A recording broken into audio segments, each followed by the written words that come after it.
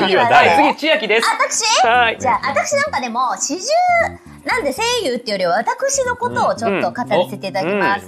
四十声優、高橋千秋で、もう四十五に来週なりますが、うん。四十五声優プラス、うん。ででん、美容。美容。うん。をその心はこれで、これいつも言ってることなんだ。うん。じゃじゃん。重力との戦い。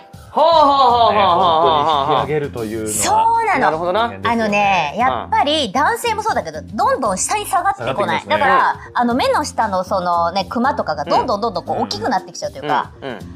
そうだ、うん。それが、やっぱり結構映りの仕事も最近声優さんって多いじゃない、多い男性も女性もなので、やっぱりちょっと目立ってくるっていうのがあると、うん。もう上に、上に意識はいつも上に。すごいですよね。この意識でうん。だったら運動するかなと思ったら運動はせずに行くから。すごいですよね運動しねえんだみたいなその意識でっていう。